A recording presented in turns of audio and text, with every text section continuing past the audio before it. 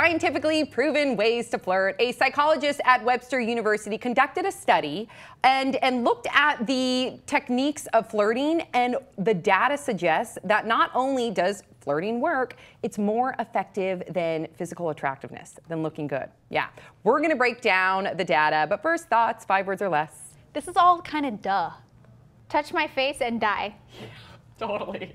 These viewers are so hot. Does booping count? I feel like if I booped while flirting, like your erection would go down. but that's okay. Okie doke. So let's go through here. So first and foremost, it says, as, as for men and women, it says that flirting, smiling, and eye contact are indicators pretty much everywhere and works for both sexes. Okay. Well, it depends. I'm sorry. Like if you're smiling, eye contact, and it's like oh, like engaging and like puts you at peace, and you're like oh, cute. So whatever. Mm-hmm. If someone's like eye contact staring and it's like hey, yeah. hey, you're like what right. the f-? like you yeah. want to leave, you know? You're so right. it depends. There is like a talent to flirting. There's a technique, and you gotta you gotta be subtle with it. And you hope that it's reciprocated. I hope that you can feel that that other person is jiving off what you're doing because yeah. otherwise it can be creepy. Um, also, it says uh, what works better than anything else. Touching. Touching. Yes. This is what I had an issue with. Oh, okay, because there's three things here. Let me break it down. Friendly is shoulder push, shoulder tap, or handshake. That's friendly. Plausible deniability, meaning like you're in, I'm into you. Touch around the shoulder or waist or touch on the forearm, forearm. And then nuclear, meaning like, yo, I'm into it's you. On face. I've never really had that happen. If a girl touched flirting. you on the face, what would you feel? If a girl even looks in my direction, I'm assuming she's into me. That's my problem. if not, she's a lesbian. What if she right. sat next to you at a bar and you guys are engaged in a conversation and you're not really sure if she's into you and then she starts touching your face? Would that be like hook, line, and sinker for even you? I think when the cross legs, I think if the legs are crossed and it's like towards you, I consider that like more flirtatious than away. At least that's. So you read every wow. mother. I'm. This is what I do. This is my thing. Uh, why don't you like? I do not like when people touch my face. I don't why like don't when you? people touch my face. I think it's uh, EP cray. And first of all, even if, if, I know you, then I'm gonna flat out punch you because I know you're not gonna press charges, and you should know better than yeah. to touch my face. And if I don't know you, then I'm probably gonna wait till you leave the bar and then you know uh, drop you over a bridge. I mean, I don't care if my friends touch my face or people I, don't I like know. People touching no, my I don't face. like. No. But a stranger in a bar, yeah. that's so creepy. Yep. And Ew. then it says that behavior is perceived differently in different locations. The more formal the setting they found, the more obvious you need to get your signal across. Mm-hmm. Interesting.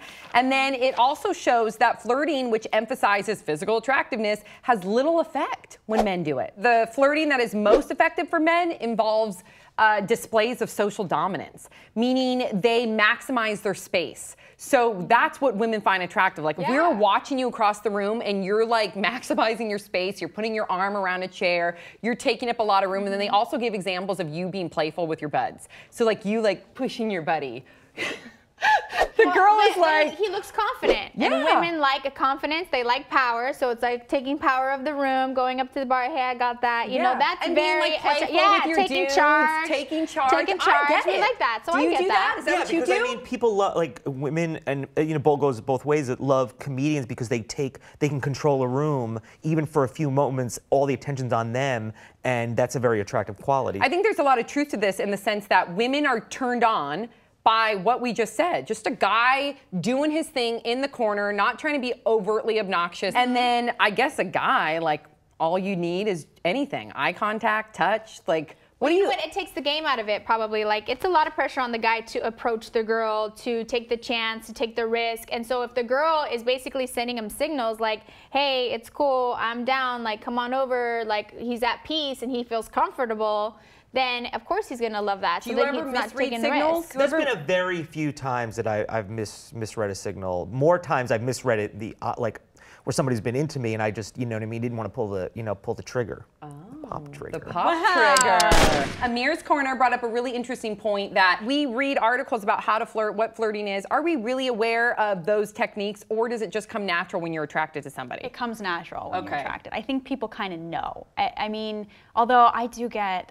But people are people scared of getting so of getting though, rejected. I feel like you know? some guys right. are still really immature and like make fun of you, like oh, old, like oh, in third that. grade. Only we're not in third grade anymore, yeah. and because he likes you, and you're like, that's a no-no. So... Don't make fun well, of her. Yeah. What I always attract, and poor me, I always attract the creepy starers. Like I always get the guy from across the bar or whatever that stares at you for way too do you long. handle It's it? That's what I like- was saying. That's why sometimes It's eye like- contact is scary. It is, yeah. How do you it's- handle it? uh, I stop looking at them. I don't.